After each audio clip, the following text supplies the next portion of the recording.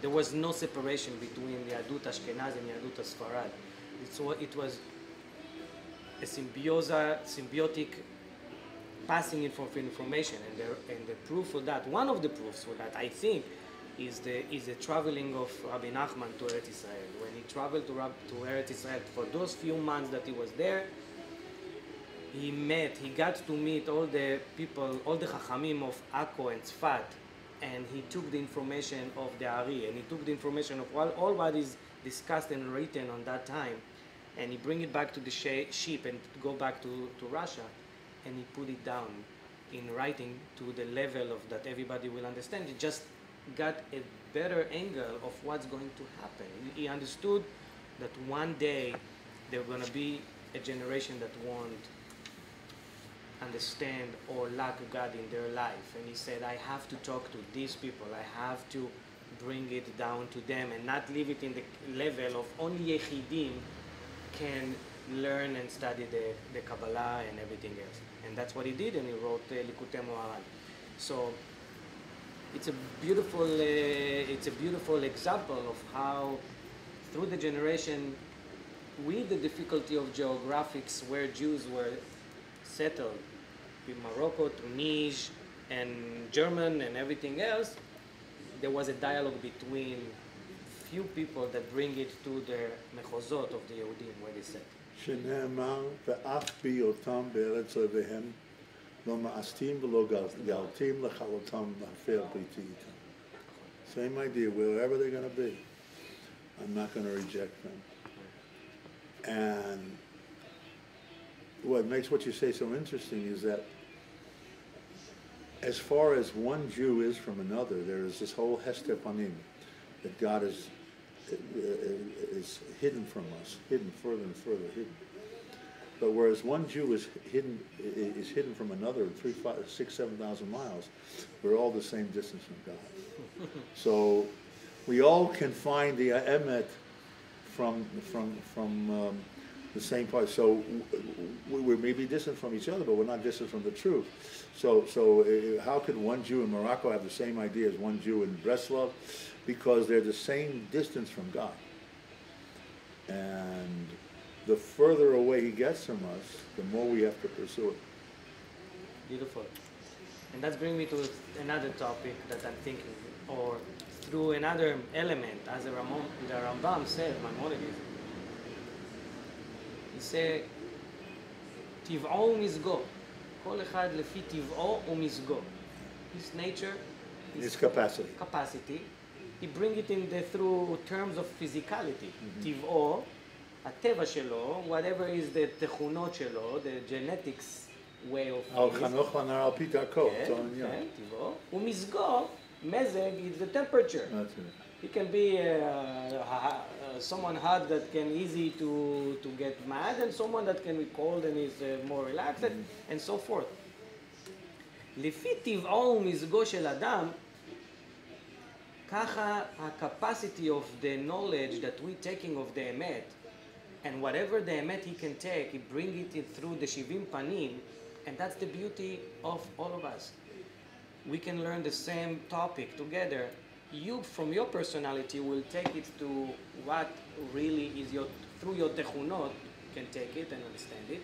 And I will take it through my techunot and this is how all the Torah will be dynamic always and the emet always will continue to grow and understand people it's sort of like a, the ore coming down and it's filtered through different filters. I have a filter for the same ore. Of Chachma, you have a different filter from it, but the truth is still there, no matter where there. it comes from. Because uh, oh, oh, oh, a source oh, to source, it's the same source.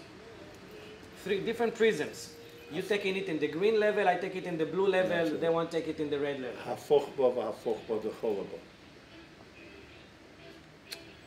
People don't realize that. This is the biggest challenge in our generation because um, people believe that the answers to everything is in Mada, is in science.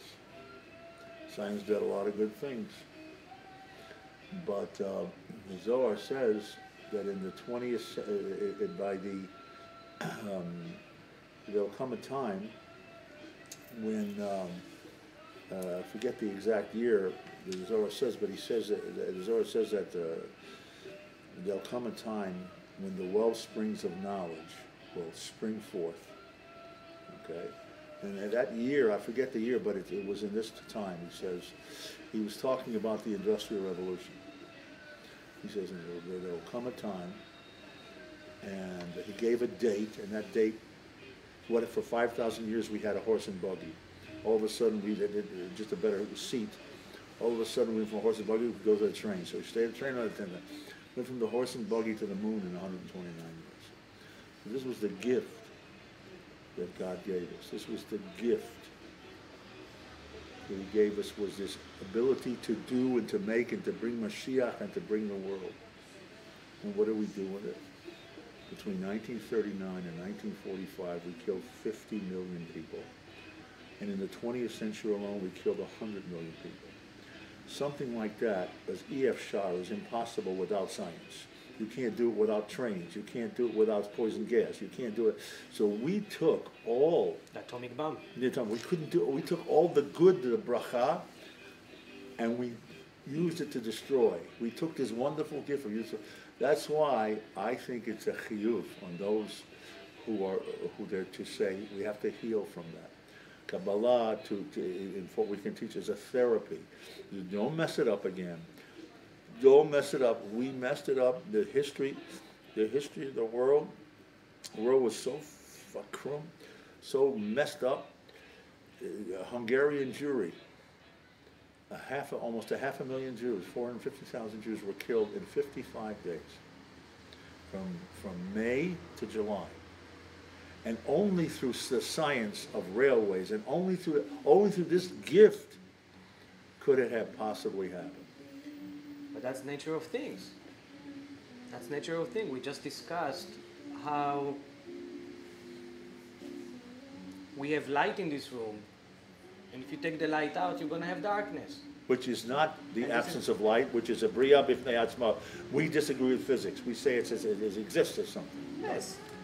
So, more, moreover, the light can still exist, but in certain areas it doesn't, you cannot see it, so we're getting a shadow. Without that light, we won't have a shadow. In every good thing, there is a bad thing.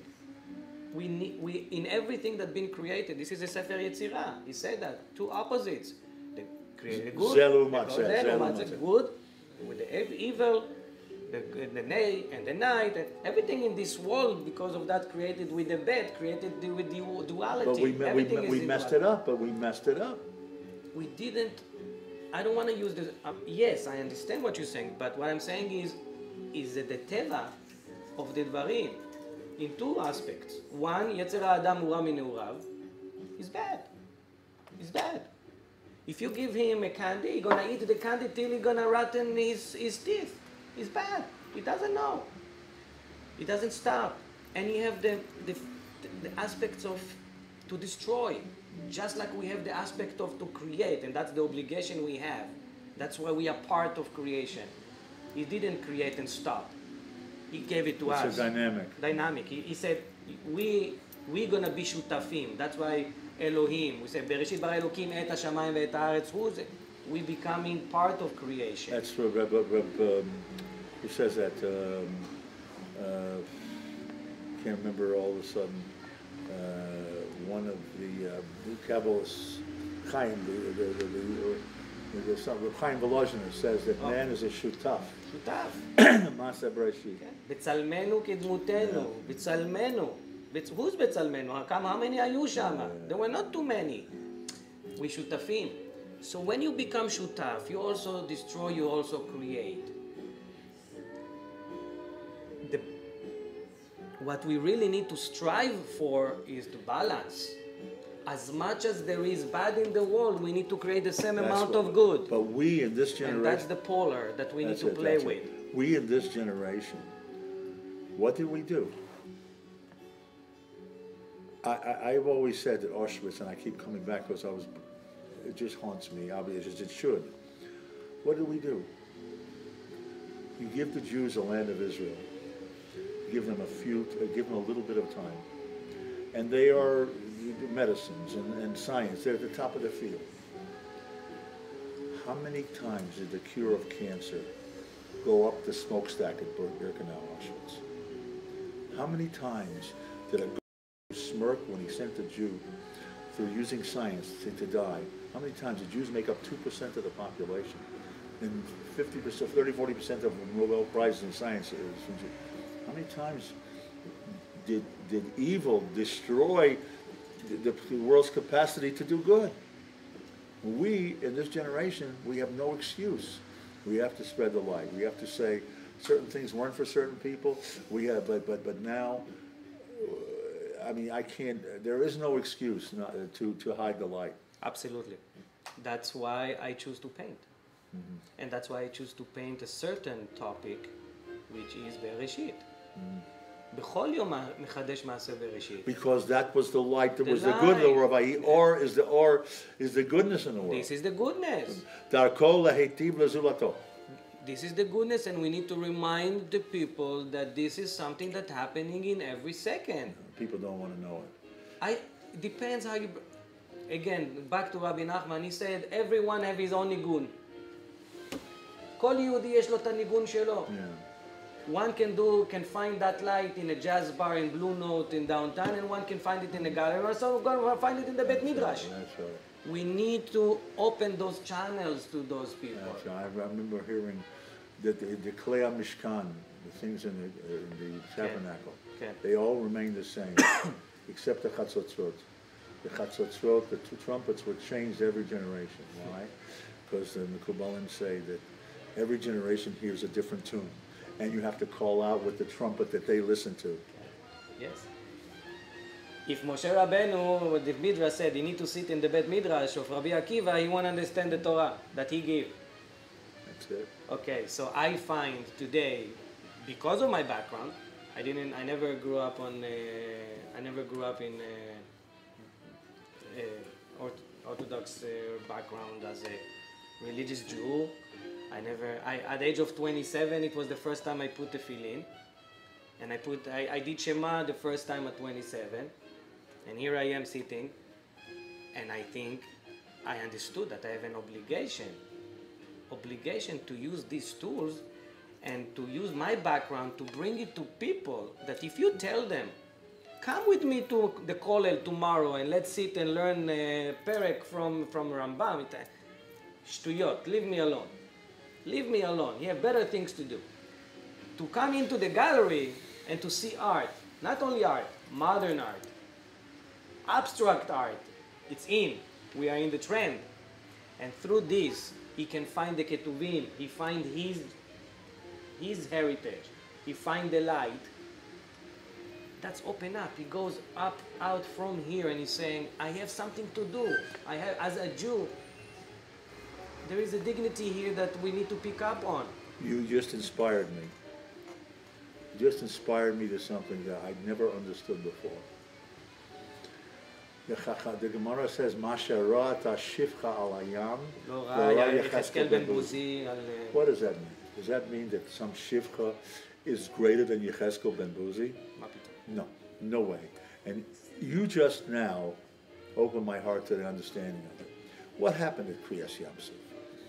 There were beautiful bricks. There was artwork. If you look at the Medrash, it says uh, there was all kind of bricks. It was beautiful. It was colors and this and this and this and this. that appealed to a shivcha, a shivcha that didn't know one word of Torah, a shivcha that didn't know anything, a shivcha that was only uh, malbusha, in other words, her her her language, her her, her clothes, and her and and and, and uh, her names. But aside from that, she that vision got to her deeper than, than the visions got to Yecheskel ben Buzi. It got to the, She didn't come to his ankles, whatever. But but she was impressed deeper. Masherah saw Shiv Halayam, what she felt at that time, even Yecheskel didn't feel because it appealed to her. That moment of Hidgalut Elakut. Pagaba. Pagaba. We learn in Kabbalah. Pagaba, yeah. The part of it bodidut. What happening to the avot? Vayivga Makom. And then put mincha. יפגע במקום, סט ערבית. You פוגע במקום. Every Jew have the capacity לפגוע במקום. מי זה המקום? המקום זה הקדוש ברוך הוא. So the Shivcha, because of what she saw, Pagaba, and she was in the level of, of like Yecheskel, when it's Pagabo, we still have this because as we said, the light is here. Emet is always here. So Yecheskel time or this time, we, we're capable. We're well, capable. Well, why did the Ribono Shel Olam make it that there should be such art and such beauty by the people? Because he wanted to appeal to the Shifra. Of course. Of course. He wanted to appeal, the Rabboni he wanted to appeal to the Shifra. Of course, she part of the Bria too. That's it. And that's why we can we cannot leave any Jew and on top of it, of course, every human because הכל מתחיל Mm-hmm. We cannot leave them excluded and to give up on people and to say, you know what, he doesn't have God in him. Beautiful. We need to conclude and take each one and saying he's capable, and that's why the Maimonides again, the Rambam. Yeah. Everyone have the capacity. It's only about the intellect, how we bring it into him and to open up those channels of understanding and learning and Brilliant, brilliant.